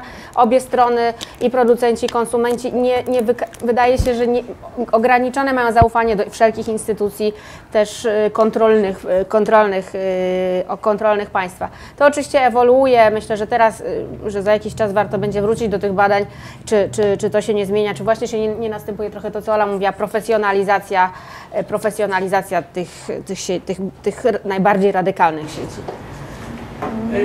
Pani doktor, bardzo proszę. Znaczy ja myślę, że wszelkie regulacje, które były wprowadzone od lat 90., wyeliminowały tą e, przytoczy, przywołaną tutaj e, babę z cielęciną, e, dlatego że regulacje, czy to sanitarne, czy weterynaryjne, czy również podatkowe, skutecznie na pewien czas jednak ten obrót bezpośredni, zwłaszcza żywności przetworzonej, przycięły przeniosły właśnie w strefę, która nie może być zupełnie legalna. Oczywiście nie we wszystkich przypadkach, nie będziemy teraz wchodzić w niuanse. Natomiast e, z moi, moim osobistym odczuciu alternatywne sieci żywnościowe, zwłaszcza te, które skupiają osoby, e, które nie tyle kierują się tymi kwestiami konsumenckimi, a światopoglądowymi, są tak naprawdę stowarzyszeniem osób, które z przekonania są antysystemowe. Tym samym właśnie e, ten brak legalności albo antylegalność pozyskania tej e, żywności porównałabym tak jak do ruchów antyszczepionkowych, kiedy osoby są w stanie zapłacić więcej za poniesienie ryzyka tego, że żywność, którą spożywają, nie podlega pewnym normom jakościowym, przynajmniej kontroli tych norm jakościowych. Stąd może to, że te sieci trafiają do bardzo niszowego konsumenta. Być może częściowo tak, to znaczy rzeczywiście, no przynajmniej inicjatorzy tych y, kooperatyw aktywistycznych to, to wywodzili się z ruchów częściowo radykalnie lewicowych, więc też antysystemowych. W tych drugich kooperatywach też e, może, może z innej, że tak powiem, z innego rogu ideologicznego, ale też, też e, są takie tendencje. No z drugiej strony, no bo i badani podkreślali to, że oni chcieliby jednak e, gdzieś tam w dalszej perspektywie formalizacji tego ruchu i nawiązywali do przedwojennej spółdzielczości i mówili, że brakuje formy prawnej dla takiej spółdzielni, więc jakby em, no nie dla wszystkich ta, ta taka nieformalność i nielegalność była, była tym stanem pożądanym. Jednak e, spora część e, respondentów mówiła o tym, że chciałaby po prostu e, sformalizowanej sieci, takich niewielkiej skali stowarzyszeń, ale jednak, jednak funkcjonujących legalnie, więc tak bym to widziała. E, Proszę Państwa, kto jeszcze chciałby zabrać głos? Czy można jeszcze o te zwierzęta zapytać, tak trochę y, y, złośliwie może? Y, Czy tutaj możemy mieć pewność, że właśnie ta troska i to, to kryterium dobrostan zwierząt, czy jest zawsze dyktowane względem no, takim humanitarnym, autotelicznym, czy może też gdzieś się pojawią takie no, uzasadnienia, że po prostu wtedy jest jakość tego mięsa, czy, ono jest zdro- smaczniejsze, czy coś takiego, bo i takie funkcjonowały. Y, Pytam o to dlatego, ponieważ jak pamiętamy na seminarium, y, na tym spotkaniu w sprawie PGR-u z redakcją, y, z panią redaktor Warką, y, okazało się, że można żywić podejrzenia co do jak gdyby czystości intencji osób zajmujących się w- PGR-ach osobami starszymi i przypisać im taką jak gdyby intencję instrumentalną, że po prostu chcą y, sobie zapewnić na dłużej to trwałe źródło dochodu, jakie, jakie generuje emeryt. No więc tutaj też, czy, czy nie wchodzi w grę również takie wyjaśnienie, jak Pani uważa? Nie, większość, y, znaczy, większość osób jest, y, oczywiście pytanie też można trochę do Kasi odnieść, na ile to są ideologie wynikające z troski o własne ciało, na ile ideologii czy tam zasad wynikających z troski o świat. E, to dosyć ważne, ale myślę, że w każdym z tych przypadków to są osoby podejmujące świadome decyzje ochrony zwierząt, czy rezygnacji z, mięsa ze względu na własny dobrostan, czy też ze względu na dobrostan zwierząt, ale większość, y, wielu członków kooperatyw ciągle krążymy wokół tego jednego radykalnego typu, tak? E, Podejmuje te decyzje, y, decyzje świadomie, tak? No, Nie, nie koncentrowałyśmy się na tym, Znaczy, ale no, zupełnie nie wyobrażam sobie Większość kooperatyw tych aktywistycznych w ogóle jest wegetariańskich, w ogóle nie kupuje mięsa. tak, albo nawet wegańskich. albo nawet wegańskich, chociaż chyba całkiem wegańska, e, no nie spotkałam się z całkiem wegańską kooperatywą. Natomiast w tym drugim typie, no to ja bym powiedziała, że no rzeczywiście tutaj chodzi przede wszystkim o jakość i smak, tak, a mniej o, no, no właśnie ten dobrostan tam się mniej liczy, to nam wyszło z tych z tych porównań ilościowych, że tam to nie jest w ogóle kwestią w tych, w tych kooperatywach zorientowanych na konsumpcję istotną, tylko tutaj mamy właśnie. mm, mm, Chociaż nie, przepraszam, chyba źle powiedziałam, bo to, s- to było na skali od 1 do 5. Nie, to jest, To jest e, to jest ważne, tak. Chociaż ważniejsze, chociaż sporo ważniejsze w kooperatywach aktywistycznych. E, I ta różnica jest, jest istotna, że no tutaj te kooperatywy aktywistyczne e, e, tutaj zbliża się do 5, bo to było na skali 1-5, tak? Więc, e, więc dla nich jest to ważniejsze, natomiast dla tych zorientowanych na konsumpcję też jest ważne, ale, ale nieco mniej, tak? Więc, no ale w tym pierwszym wypadku mamy w praktyce do czynienia z tym, że w ogóle się unika produktów zwierzęcych, a w tym drugim, że no lepiej się traktuje zwierzęta, tak? Więc to, to było... Jeszcze z Państwa? Chciałem bardzo w przecieku po- podziękować bardzo za niezwykle interesujący referat i myślę, że skala tego zjawiska jest znacznie większa niż sądzimy.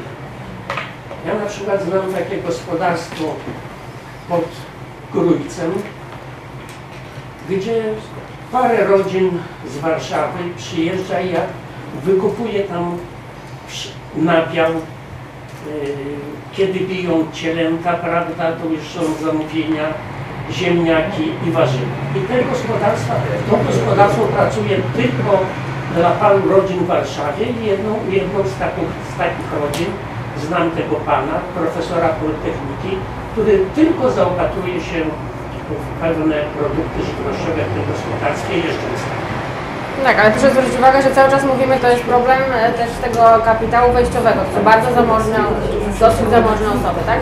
Dla których kwestia żywności też jest ważna. To jest kapitał kulturowy, społeczny i finansowy odgrywa ważną rolę yy, przy wchodzeniu w taką sieć z obu stron.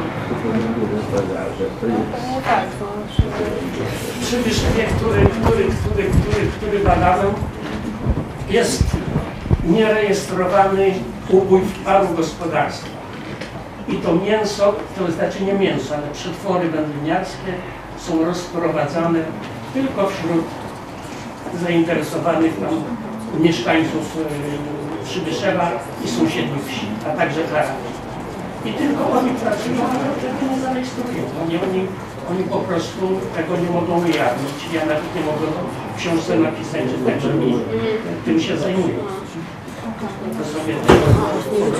Nieżyczymy sobie, no właśnie, no więc jednak ta pozalegalność tej działalności chyba jest istotna bardzo, może istotniejsza niż Ale bazuje na zaufanie, że nikt nie doniesie. Bardzo dziękuję. Dziękuję bardzo.